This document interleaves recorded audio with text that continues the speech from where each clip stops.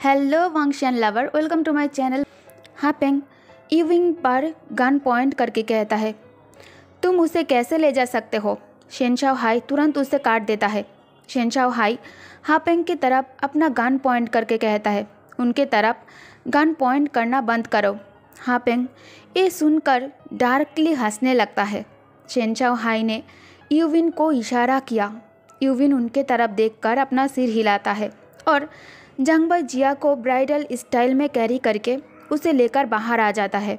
शेनशाओ high दूसरी गान सरमन ली को दे देता है और लैन जान अपना गान ऑलरेडी हापेंग की तरह पॉइंट करके रखा है, जो जान जीन अपना गान निकल कर सरमन ली के तरह पॉइंट करके कहता है, अब हम बात कर सकते हैं। सरमन ली कहती है, आज किसी को मरना है और हम ये बात जानते हैं, बस हम डरते नहीं हैं। हम मरते हैं तो हमें परवाह नहीं है, क्योंकि हमारे प्रियजन, हमारा परिवार हमेशा के लिए सुरक्षित रहेगा। तुम हो हमारे जीवन का काला अध्याय। हमें इसे यह समाप्त करना होगा। ठीक है, फिर मरो, जो जान जी ने कहा। इतना कहकर उसने गन के टिगर दबा दिया। नहीं, बाहर से जंगबाई जिया चिल्लाती है। वांगजी ने हापेंग के हाथ में गोली मार दी। हाथ में गोली लगने के वजह से हापेंग के गान फ्लोर पर गिर गई। शेनशाओ हाई ने हापेंग के सीने में गोली मार दी। हापेंग फर्श पर गिर गया। सरमन ली ने बीच में जो जान जिन के सिर में गोली मार दी, वो भी फर्श पर गिर गए। जैसे ही उसे गोली मारे जाते हैं, लेकिन वो भी फर्श पर गिर गई, क्योंकि उनके सीने में भी गोली लगी है। मॉम, बांगजी चिल्लाते हैं और उसके पास भागते हैं। इससे पहले कि वो कुछ कहता, सरमन ली ने अपने आँखें बंद कर ली। दूसरी ओर, हापेंग अभी भी शेनशाओ हाई को देख रहा है। शेनशाओ हाई भी अपने बेटे को देख रहा था। शेनशाओ हाई रो रहे थे। हापेंग बांगजी की तरफ़ देखकर एक डार्क स्माइल देकर कहता है, गुड लक गुड लक, अगर तुम विभूषण को ढूंढ सकते हो तो ढूंढ लो। ये कहकर हापेंग अपना आँखें बंद कर लेता है। और अपना अंतिम सांस छोड़ता है। थर्टी फाइव मिनट पहले लेंजा शेनशाओ हाई मेंशन छोड़ा था। सभी लिविंग रूम में टेंशन में बैठे थे। वो शेनशाओ हाई और सरमन ली के कॉल का इंतज़ार कर रहे थे, जिसके बाद वो अपना काम कर सकते हैं। विंग बहुत ज़्यादा बेचैन हो रहा था। वो ऊपर जाना चाहता था, लेकिन वो नहीं जा पाए, क्योंकि उसके मॉम उसे ऊपर नहीं जाने दे रही थी। विंग चिरकर कहता है, मॉम, आप मुझे ऊपर जाने क्यों नहीं दे रहे हो? बेबी वांगजी ने कहा, विंग तुरंत उनके बात को काट दिया। विंग फिर से कहता है, लेकिन मैं अपने कमरे में जा रहा हूँ ना? क्रिस्टल जैंग सोचने लगती है, उसे अपने आँखों के या फिर सभी के आँखों के सामने कैसे रखा जाए? जब उसने बींग को देखभाल करने के लिए कहा तब वो उसे देखकर आसानी से ये बता सकती थी कि वांग जी बहुत ही ज़्यादा टेंशन में था। हर जगह टाइट बॉडीगार्ड भी है। तुम गार्डन में कैसे जा सकते हो? क्या तुम जानते हो, सरमन ली, कुछ दिन पहले तुम्हारे लिए गार्डन में गुलाब की सीड्स लगाई ही थी। क्रिस्टल जैंग लिविंग रूम से गार्डन में उन गुलाब के ओर इशारा करते हुए कहा, विंग कुछ देर सोचने लगता है। नो डाउट वो गुलाब बहुत ही ज़्यादा पसंद करता है। लेकिन अभी वो सिर्फ़ ऊपर जाना चाहता था और थोड़ी देर लेटना चाहता था। विंग आहे भरते हैं, क्रिस्टल जैंग कहती है, प्लीज़ मेरे जिद्दी बेटे, प्लीज़ हाँ कहो। क्रिस्टल जैंग अपने मन में प्रे करने लगती है। विंग कहता है, ठीक है, मैं वहाँ जा रहा हूँ। क्रिस्टल जैंग तुरंत कहा, ठीक है। ठीक है। वहाँ जाओ। विंग सोफे से उठकर बाहर गार्डन में चला गया। क्रिस्टल जैंग उसे लिविंग रूम से देख सकती है। वो उसके साथ वह किसी को भेजना चाहती थी, लेकिन सभी आपस में बात कर रहे थे। जिंग्यू अपने हस्बैंड के साथ कुछ गहरी डिस्कशन कर रहा था, इसीलिए उन्होंने दूसरों से कुछ नहीं कहा। क्रिस्टल जैंग एक सर्वेंट को बुलाती है।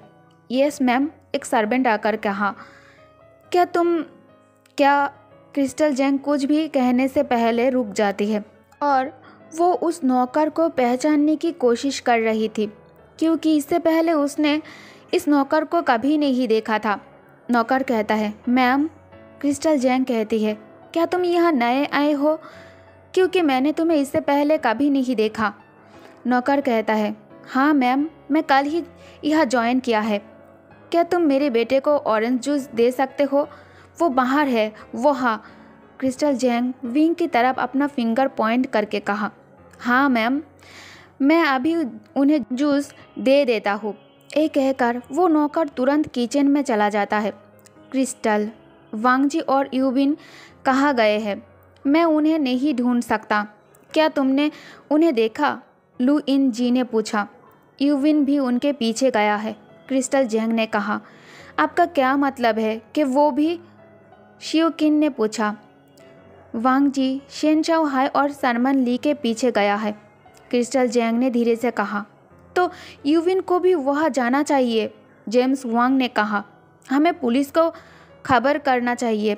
हाइको ने कहा, जो चैंग कहता है, लेकिन हमें एड्रेस नहीं पता। हर कोई बात चित में बिज़ी हो जाता है और क्रिस्टल जैंग अब विंग को वहाँ से नहीं देख सकता था, क्योंकि अभी उनके सामने लू जियान मीन बैठे थे।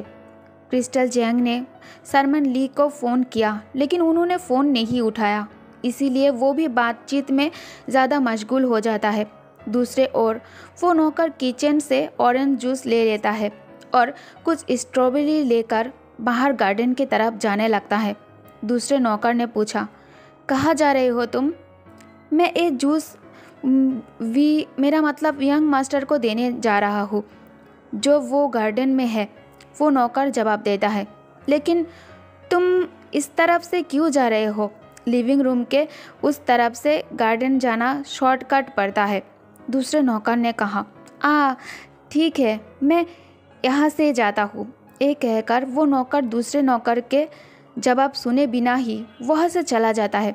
जब वो बाहर आता है, वो अपने जेब से निकाब निकाल लेता है। और उसे अपने चेहरे पर पहन लेता है और विंग के ओर धीरे धीरे चलना शुरू करता है। विंग उन गुलाब को देख रहा था और उन गुलाब की स्मेल को इनहेल कर रहा था और वाइडली मुस्कुराने लगता है, लेकिन कुछ उससे बहुत ज़्यादा परेशान कर रहा था। जल्दी वापस आ जाओ हस्बैंड विंग ने एब्सेंट माइंड के साथ गार्डन को देखते हुए कहा। पीछे से कोई कहता है यंग मास्टर विंग पीछे मुड़कर कहता है हाँ? उस नौकर कहता है, ये आपका ऑरेंज जूस शुक्रिया। विंग उस गिलास को ट्रे से लेने ही जा रहा था, कि तभी वो रुक गया। वी उस नौकर के तरफ़ तेज़ निगाह से देखता है। विंग कहता है, तुमने मास्क क्यों पहना हुआ है? नौकर कहता है, यंग मास्टर, मुझे कोल्ड हो गया है। मैंने तुम्हें यह पहले नहीं देखा। क्या तुम यह नए नौकर हो? लेकिन मुझे लगता है कि हम पहले मिले हैं। विंग ने उलझान में पूछा, नहीं, यंग मास्टर, हम पहले नहीं मिले थे। मैं कल ही वेंजिंग आया था और कल ही यह ज्वाइन हुआ था। उस नौकर ने कहा, यंग मास्टर, इसे पियो। मैम ने कहा आपके लिए ये बनाने के लिए, आप इस जूस को जल्दी से पी लो। वो नौकर फिर से कहता है ओ ओके। विंग ने कहा, और ऑरेंज जूस का ग्लास अपना हाथ में ले लिया और उसे पी लिया। हेयर वी गो अब तुम जाओ। विंग ने उस ग्लास को वापस ट्रे में रख दिया। लेकिन कौन सी मैडम ने कहा? क्या तुम हमारे परिवार के सभी लोगों के नाम नहीं जानते? विंग ने उलझन से पूछा। नहीं यंग मास्टर मैं इससे पहले कैसे जान सकता हूँ? मैं कल ही ज्वाइन किया था। उस नौकर ने जवाब दिया। अचानक विंग को कुछ एहसास हुआ। उसके हाथ की हथेली पहले से ही पसीना और ठंडी होने लगी थी। फिर भी उसने साहसपूर्वक फिर पूछा, तुम उनके नाम कैसे नहीं जानते? हमारे हर मेंशन में जब नए नौकर नौकरी में शामिल होते हैं तो वो पहले दिन सभी के नाम सीखते हैं। तुमने इसे अभी तक कैसे नहीं सीखा? विंग ने टेंशन वाली आवाज़ में पूछा, आ, ए, मुझे लगता है बच्चा भी अपने दिमाग का इस्तेमाल कर सकता है। नाम है ली वो वेन। वेंजिंग के एकमात्र और सबसे अमीर और ख़तरनाक हिटमैन। लीवो वेन ने अपना मुखौटा उतारते हुए कहा, विंग चौक गया। क्या वो वही इंसान नहीं है जिसने कुछ दिन पहले हमारी मेंशन में खाना पहुँचाया था? चलो बेबी, अब घर जाने का समय हो गया है। हमें इस बुरे बच्चे से भी छुटकारा पाना है। फिर हम अपने बच्चा पैदा कर सकते हैं। लिवो विन ने कहा विंग को अभी हर तरफ़ पसीना आने लगा है। उसका सिर पहले से ही भारी हो गया है। उसे चक्कर आ रहा है। वो मेंशन के अंदर जाने लगा है। लेकिन लीवो विन ने उसे रोका और उसे कमर से पकड़ लिया। वो विंग के गर्दन पर अपना नोज़ नजलिंग करने लगा। विंग को डिस्गस्टिंग महसूस होने लगता है। वो लीवो वेन के पकड़ से खुद को छुड़ाने के लिए स्ट्रगल करना शुरू कर देता है। मॉम विंग चीखना चाहता था, लेकिन उसके आवाज़ धीमी हो गए वो तुम्हें नहीं सुन सकते और तुम पहले से ही बेहोश होने वाले हो, इसीलिए कोशिश मत करो और स्ट्रगल करना बंद करो, लिवो वेन ने कहा। विंग के आँखों में आँसू भर आए। वो अंदर देखता है, वो अभी भी बातचीत में बिज़ी है। विंग ने ज़ोर से रोया। ना चाहते हुए भी वो धीरे धीरे अपना होश खोने लगा। क्या तुम मेरे लिए आओगे? क्या तुम हमारे बच्चे के लिए आओगे? देर मत करो लंचा देर होने से पहले मुझे ढूंढ लो। विंग ने अपने मन में सोचा लंचान विंग एक सेकेंड में धीरे से कहा और बेहोश हो गया। सचेत रहो, लड़कों। मैं विभूषण को बाहर ले जा रहा हूँ। लीवो वेन ने अपने आदमियों से अपने ईयरफोन के माध्यम से कहा हाँ मालिक, उसके एक आदमी ने जवाब दिया। अब हमें फिर से हापेंग मेंशन दिखाया जाता है। लेनजान हापेंग की बातों को सुनकर दंग रह जाता है। वो अपने जगह से मूव भी नहीं कर पा रहा था। हापेंग ने अपने आँखें बंद करने से पहले जो कहा था, उसे सुनकर लेनजान पूरी तरह से शॉक्ड हो जाता है। बाहर से सायरन की आवाज़ सुनाई देता है। पुलिस और एंबुलेंस यहाँ ऑलरेडी पहुँच चुका है। यूविन जब जंगबाई जिया को लेकर बाहर आया था, तभी उसने पुलिस को कॉल करके बुला लिया था। यूविन और जंगबाई जिया पुलिस और एंबुलेंस के साथ अंदर आते हैं।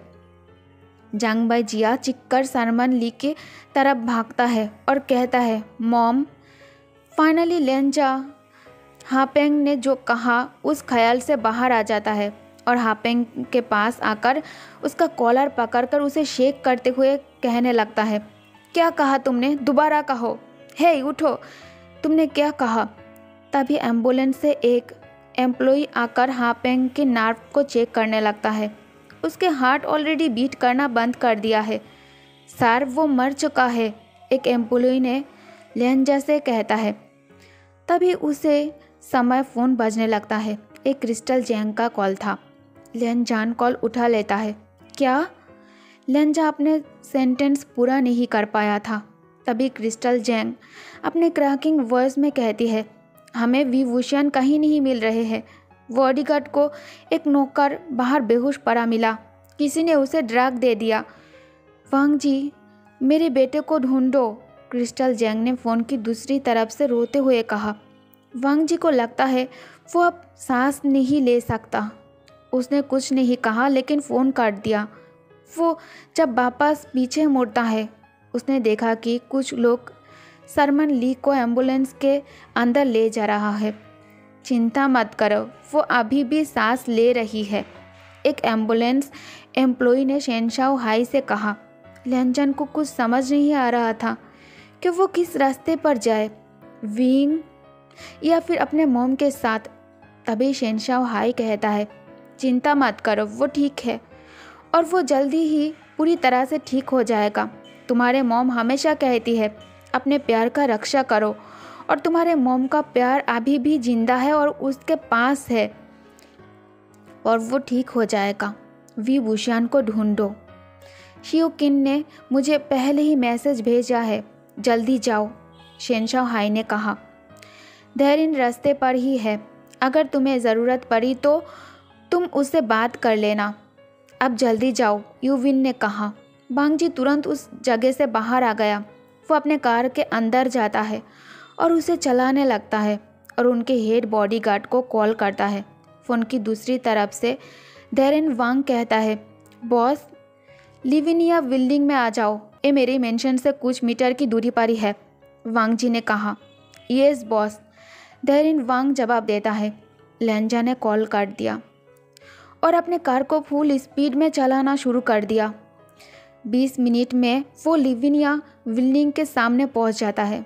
लिवो वेन दूसरे मंजिल पर ठहरे है।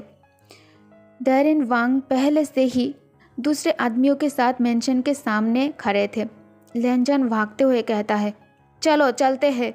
वह पहुँचने के बाद लेनजान दरवाजे पर लात मारना शुरू कर देता है। लीवो वेन जहाँ रहते थे, दो कीक मारने से दरवाज़ा खुल जाता है और लहंजा अंदर चला जाता है। खोजना शुरू करो। अगर किसी को कुछ भी सस्पिशियस मिलता है तो हमें दिखाना धैर्य वांग ने बाकी आदमियों से कहा। सबने अपना सिर हिलाया और सब कुछ चेक करना शुरू कर देता है। लहनजान विंडो के पास आ जाता है। वो वहाँ से अपने मेंशन साफ़ साफ़ देख सकता है। जब उसने अपने आँखें अपने मेंशन से हटाकर विंडो के पास वाली टेबल पर देखता है, वह एक फ़ोन रखा है। वो मेज के पास जाता है। अचानक फ़ोन बजने लगता है। धैर्यन वांग फ़ोन उठाने जा ही रहा था। तभी लेनजान अपने हाथ दिखाकर उसे रोक देता है। लेनजान फ़ोन अपने हाथ में लेता है और कॉल उठा लेता है। अय्या वांग जी का प्यार अब चला गया है।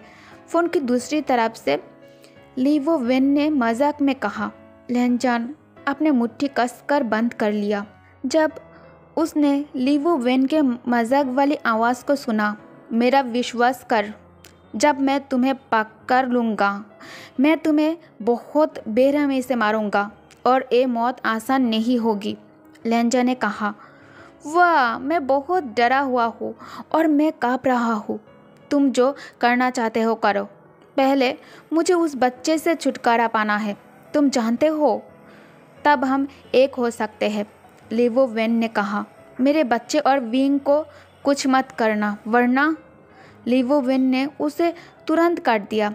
लिवो वेन ने एक मिनट के लिए बात करना बंद कर देता है। लहन जान देहरिन की तरफ़ देखता है। जो अभी भी लिवो विन का पता लगाने की कोशिश कर रहा है। मुझे ट्रैक करना बंद करो। क्या तुम्हारा डिवाइस सभी अलग अलग जगह नहीं दिखा रहा है? ओके गाइस तो इस पार्ट को मैं, इस पार्ट को मैं यही एंड करती हूँ। आई होप कि आप लोग इसे बहुत ज़्यादा इन्जॉय कर रहे हो। Thank you for watching guys bye bye